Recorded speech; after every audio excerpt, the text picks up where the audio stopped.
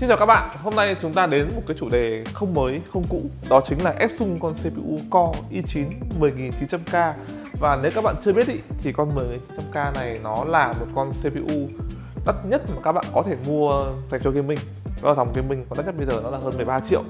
Và tại sao đắt thế thì chắc nhiều anh em cũng biết, nhiều anh em chưa biết. Thì mình nói sơ qua nó là một con CPU 10 nhân 20 luồng nó có những xung cơ bản nó là 3,7 GHz nhưng mà các bạn chạy turbo tối đa các nhân lên ý. Khi mà chơi game nó lên là 4,9 GHz và nếu mà khi một nhân hoạt động tối đa thì nó là 5,3 GHz một con số rất là lớn và Intel chưa bao giờ làm ra một con CPU gaming mà xung nó cao như con 10900K này. Đại khái là nếu mà các bạn mua một con CPU gaming gần như tốt nhất bây giờ ấy, thì 10900K là được cho các bạn. Nói chung là buồn thì mua 10900K vui thì mua 10900K không có việc gì làm thì mua 10900K và hôm nay mình cũng hơi không có việc gì làm nên là mình sẽ thử ép sung này cho các bạn. Tại vì cái hậu tố ca của con 10900K ca nó cho phép các bạn là ép sung lên cao hơn cái mức sung cơ bản của nó. Nhưng mà nó sẽ yêu cầu đó chính là hệ thống tản nhiệt, tại vì mặc định con này cũng không đi kèm tản và nó yêu cầu một các bạn là hệ thống, một hệ thống tản nhiệt nó đủ tốt để cân được cái lượng nhiệt tỏa ra không hề ít của con 10900K này. Thì hôm nay mình sẽ dùng, đó chính là con Asus ROG Ryujin 360 đây là một con tản all-in-one đắt nhất hiện tại với giá của nó là 7 triệu rưỡi. Một mức giá cực kỳ cao cho một con tản all-in-one 360 và nó đã ra mắt tầm vài năm rồi nhưng mà nó đến bây giờ nó vẫn đang chiếm trệ ngôi đắt nhất. Và thực sự thì nó cũng có lẽ là, là gần như tốt nhất hiện tại. Tại vì sao? Với cái mức 7 triệu rưỡi thì các bạn sẽ yêu cầu đó chính là một hiệu năng cực kỳ mạnh mẽ của con tản này. Và để đảm bảo cho hiệu năng đấy thì Asus cho chúng ta đó chính là đầu tiên là một RAD 360 với dùng rát 360 kích cỡ 3 quạt này có khoảng 12 120 mm là 12 phân thì tổng 3 con là 36 gọi là 360 thì họ trang bị cho chúng ta một con rát 360 to đùng thứ hai là chính là ba con quạt Anox Tour IPPF à, IPPC Industrial và một con này là các bạn mua ở ngoài nó khoảng tầm là 750 một con quạt tức là ba con quạt này các bạn đã phải bỏ ra khoảng tầm là 2 triệu 2 rồi. Nên tính ra thì con Ryujin này không đắt đâu. Và ngoài ra thì để thêm phần hoa mỹ thì Asus họ thêm của chúng ta một cái đó chính là con màn hình LCD và các bạn có thể tùy chỉnh những thứ trên các màn hình LCD này thông qua cái phần mềm Amori Create và ở đây, và update các thứ. Này mình đã update từ trước rồi. Các bạn cắm vào các bạn update phần mềm à, firmware của con tản lên để nó quân chỉnh được nhiều thứ. Đây chúng ta sẽ có điều chỉnh rất nhiều các thứ ở trên này. Đầu tiên các bạn có thể để hiển thị các thông số ở trên cái con tản này. Ví dụ các bạn thích để nó là bao nhiêu volt nhiệt độ vẫn xin được CPU bao nhiêu quạt như nào nói chung là tùy ý được hết nhiệt độ ở đâu cũng được chứ không phải nhiệt độ mình CPU thứ hai cái hay nhất ấy là các bạn để được hình.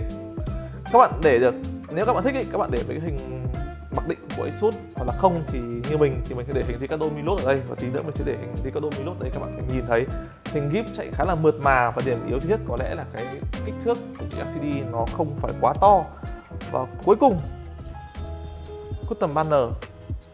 Các bạn có thể chọn mấy cái uh, hình và text các thứ ở trên này nói chung cái màn hình LCD này khá là tiện. Khi mà anh em dùng ấy anh em mà kiểu thích cái máy thì nhìn định bên trên như CPU đang hoạt động bao nhiêu phần trăm hay là chúng ta đang nhiệt độ đang bao nhiêu nó hoặc là xung CPU đang bao nhiêu để đỡ phải bật một cái trong game và ngoài ra để để mấy hình để chạy, chạy. Và đấy là những cái tính năng cơ bản và ngoài ra đèn led thì cũng như qua các sản phẩm khác thôi chúng ta có rất nhiều cái đèn led ở trên con Ryzen 360 này. Và quạt thì các bạn sẽ không phải điều khiển quạt có BIOS nữa. Và Asus họ cho chúng ta điều khiển quạt trực tiếp lên trên này luôn.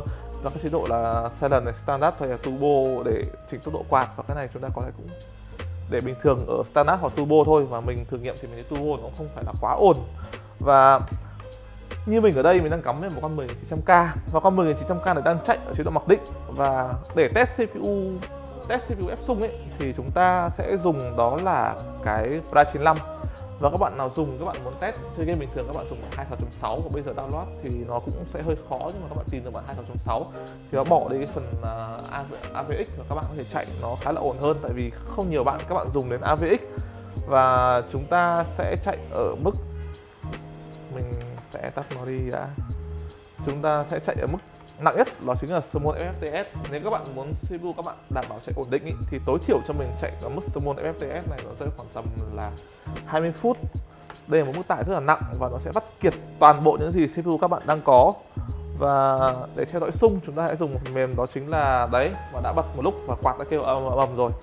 Và chúng ta dùng phần mềm CPU Z để theo dõi mức sung. Hiện tại sung của trên 1900K đang ổn định ở mức là 4,9 GHz đây là mức bình thường của 10900K và để xem nhiệt bao nhiêu thì mình sẽ xem thử ở trong HW Info. Đây là những các phần mềm cơ bản các bạn cần phải trang bị khi mà các bạn muốn gọi là theo dõi CPU hoặc là nhiều hơn nữa thì là ép sung CPU và hiện tại chúng ta đang có là sung 4.4,9 GHz này. Chúng ta có nhiệt độ CPU đang là 67 độ và 67 độ với một con 10900K nó là rất mát. Và quạt của chúng ta hiện tại lại vẫn chỉ đang quay khá là êm ái sau khi khoảng thời gian đầu tiên ấy. Rú lên phát thì bây giờ quạt đang quay khá là ổn và nhiệt độ CPU bây giờ khoảng tầm đấy 69 đến 70 độ. Và đây là một mức nhiệt mình đánh giá là nó rất là mát của con 10900K và nếu mà chạy một lúc nữa thì mình nghĩ là rơi khoảng tầm 54 75 độ thôi. Và đây là một mức hoàn toàn anh em có thể, gọi là, mát mẻ với là con 10900K uh, và đấy là mức khi mà mình sẽ test và mình sẽ thử nghiệm khi mà chúng ta vào game thử xem là trong Shadow of Tomb Raider thì cái mức nhiệt độ chúng ta đạt được sẽ là bao nhiêu? Tại vì gaming bao giờ cũng sẽ là ít hơn so với cả các cái phần mềm test, test như này. Hiện tại CPU đang ở mức 51 độ C và 4 độ C nói chung là khá là mát mình thử nghiệm với Shadow Auto Rider và tí nữa khi mà mình ép sung lên mình thử nghiệm lại một phát với Shadow Auto Rider để xem là nhiệt độ chúng ta bị tăng lên là bao nhiêu. À, hiện tại chúng ta thấy là CPU đang ở mức 49 độ C và đang loát là 32% một mức nhiệt độ khá là mát. Và mình sẽ chạy một lúc để xem nhiệt độ CPU sẽ là ổn định ở mức bao nhiêu. Và như mình thấy ở đây các bạn có thể thấy là lúc nãy khi mà mình chạy, chạy kiểu như là set tối đa phát kiệt CPU ấy, nó rơi khoảng tầm là 7 uh, à, khoảng tầm 70 độ. Nhưng mà bây giờ trong game chỉ khoảng tầm 50 độ thôi. Và quạt đang hoạt động êm ái rất nhiều bởi vì khi nhiệt độ CPU thấp ý, thì quạt nó không phải hoạt động mạnh. Và đây chỉ là mức cơ bản thôi. Và mình sẽ thử sức mạnh của con tảng Ryujin 360, 360 này bằng cách là mình sẽ ép xung thử con 10900K này lên 5.2 GHz xem là con tản này có thể chịu được cái mức nhiệt khủng khiếp từ một con CPU 10900K chạy ở mức 5.2 không. Và trước tiên để áp xung chúng ta sẽ phải tắt hết đi ạ tại vì nếu mà để cân được mức mặc định nhiệt nhiệt độ mặc định ấy, thì nó cũng khá là bình thường tại vì con ba con tản Uniman 360 cao cấp nào như là uh, cũng đều sẽ cân được cái con cái mức mặc định của 1900k này hết. Cái quan trọng là chúng ta sẽ độ ồn là bao nhiêu và quan trọng là khi ép sung lên nó sẽ tải được như thế nào. Tại vì rất nhiều các mẫu All One 360 giá rẻ đã hoàn toàn trượt bài test khi mà ép sung lên thử. Và đấy mới là cái mức gọi là bài thước đo chính xác dành cho những con đạn Unimon và để ép sung ấy thì trước đây là có một clip ép sung con 10900K đến 5.3 rồi nhưng mà 5.3 thực sự là nó không ổn định cho lắm khi mà test set test. Và những cái mức những cái điều cơ bản của chúng ta làm thì multicore đây là enable à, core ratio 52 à, mình sẽ chỉnh lại nó khá là nhanh gọn thôi. Uhm, cái này thì hay để mức 7 nhưng mà ép sung nó nặng. Asus họ khuyến cáo từ mức 4 trở lên nếu mà chúng ta ép sung tất cả những cái về à, limit max này các bạn đẩy hết lên tối đa cho mình. À, đây là những cái à, một cái về CPU state thì các bạn bỏ đi nhé nó khá là nó sẽ rồi. Đây là mức mình hay dùng trên con CPU này tại vì là con con 10900K này mình đã test khá là lâu rồi mình rất rất hay dùng nó trong các, các bài test trên kênh. Và mặc định ngoài chạy 5.2 sẽ ở khoảng tầm 1,3V và các bạn nếu mà dùng thì mình nghĩ các bạn cũng nên thử nghiệm ở cái mức đấy.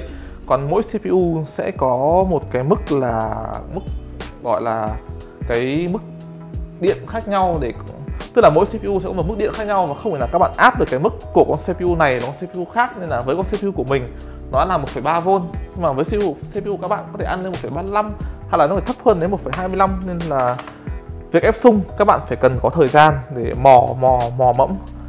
Và bây giờ mình sẽ thử nghiệm dần dần với Prime 95 ở mức Small FFT Hiện tại CPU Z đã nhận là 5,2 GHz đây và chúng ta hãy chạy thử Small FFT một lúc xem như thế nào. A few inches later. Như vậy là chúng ta đã hoàn thành cái bài test Prime 95 Small FFT trong khoảng tầm 15 phút. Và khi mà các bạn đã vượt qua cái bài test này thì chúng ta gần như là xác định là CPU chúng ta đã hoạt động một cách rất là ổn định rồi. Và hiện tại các bạn thấy là các nhân ở mức tải tối đa cực kỳ nặng thì nó mới chỉ hoạt động ở khoảng tầm 80 đến ở nhân mát nhất và khoảng tầm 85 độ 88 độ ở nhân nóng nhất. Và mức xung đã ổn định ở 5,2 GHz và Vico là 1,144V và nhưng mà cái điều các bạn có thể nghe thấy là tiếng ồn cái quạt nó rất là ồn. Tại vì chúng ta đang phải tải một cái lượng nhiệt rất là lớn nó phát sinh ra từ CPU và trong Amori Credit cái phần quạt, thì cái khi mà nhiệt độ CPU đạt ngưỡng là trên 70 độ 77 độ, thì mặc định là quạt chạy trên 100% rất là ổn nhưng mà các bạn cũng đừng quá lo, tại vì đây chỉ là mức nhiệt mà khi chúng ta test, stress test thôi. Còn mình sẽ thử nghiệm khi mà vào game. Vào game nhiệt độ sẽ khác rất là nhiều. Mình sẽ dừng cái bài test đi. Bây giờ mới thử nghiệm ở trong Shadow of Tomb Raider là một tựa game có thể nói là nó tối ưu, khá tốt phần cứng để chúng ta cùng xem thử là nhiệt độ của CPU khi mà chơi game dưới con tảng ROG Fusion 360 này nó khoảng tầm cỡ nào? Hiện tại thì CPU chúng ta đang 70 78 độ C, 75 độ C đang lock tầm 65% ở trong cảnh đầu game. Và mình sẽ vào thử phần bên mắt và option uh, phần graphic các thể loại ta để là gần như là mức cao. Uh, cao nhất đi cho nó hợp lý bắt đầu bên mắt hiện tại CPU đang khoảng tầm 60 độ C khoảng tầm 31% khi các bạn có thể biết là trong game gần như không bao giờ chúng ta đạt được cái mức gọi là tải 100% như là khi mà test cái phần mềm stress cả. Nó chỉ lót khoảng tầm game là lát 50% mà nhiều lắm rồi, không thì khoảng tầm 30 40% thôi. Đây các bạn thấy là nhiệt độ CPU đang khá là ổn định nhá, khoảng tầm 63 độ C với mức tải 44% và quạt hoàn toàn là mình đang gần như không nghe thấy tiếng quạt ở không hệ thống mà chỉ nghe tiếng game thôi và những cái trải nghiệm như này mình thấy rất là tốt. Ở đây cả chữ T web thì nổi tiếng là mát rồi đang có 63 độ C 3090 đang có 63 độ C thôi. Và đây CPU vẫn đang loanh quanh ở mức 54 độ C tại 35% và đây là một mức nhiệt, mức nhiệt mình có thể nói là khá là mát và các bạn hoàn toàn có thể ép xung được con 10900K này. Ở trên con tản ROG Ryzen 360 ở mức 5,2 GHz chạy hàng ngày. Nếu mà các bạn gọi là có chút thời gian bỏ ra mà tìm được cái mức VCO thích hợp cũng như tinh chỉnh hệ thống. Cái mức hiệu năng các bạn đạt, đạt được ấy nó cũng khá là tốt và thực sự thì đây ROG ryujin 360 là là một con tản nhiệt. Mình thấy đánh giá là nếu mà các bạn có sẵn sàng của 7 triệu đồng để mua con Only One ấy thì con ryujin 360 gần như là một con tản tốt nhất hiện tại các bạn có thể mua bởi vì thứ nhất là cái phần quạt nó đặc biệt cái quạt nó ấy, là cái quạt của Noctua nó rất là êm nó rất là mát và nó khá, nó nhìn nó cũng ngầu nữa mỗi đội nó không có led thôi. Và ngoài ra có một cái màn hình LCD ở trước các bạn để nhìn thông số các thứ. Và các bạn nghĩ sao về con tản ROG Ryzen 360 này? Mặc dù đã ra mắt khoảng tầm vài năm nhưng mà nó vẫn rất là ngon rất là mạnh và vẫn và các bạn hãy nghĩ sao để cho mình biết trong phần mô tả video nhé còn bây giờ xin chào hẹn gặp lại các bạn.